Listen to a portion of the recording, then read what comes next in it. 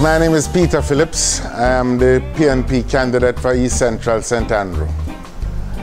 I believe that people in East Central St. Andrew need to have very good representation. Is a constituency where there's a tremendous amount of unemployment, where the infrastructure of roads and uh, the drainage systems are in need of a lot of repair. They have been neglected over these past four years and they are in need of urgent attention. We have a number of programs for young people, sports programs. We have done a lot of work for on the schools, almost every school in the constituency during the years of the PNP administration underwent improvement.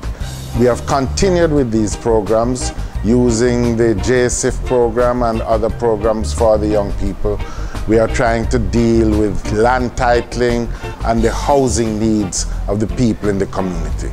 For these programs to continue, for improvement in the conditions in the communities, repair to the infrastructure, it is clear that we need not only a new government, but we need also continued representation by the People's National Party, which is the best choice for Jamaica.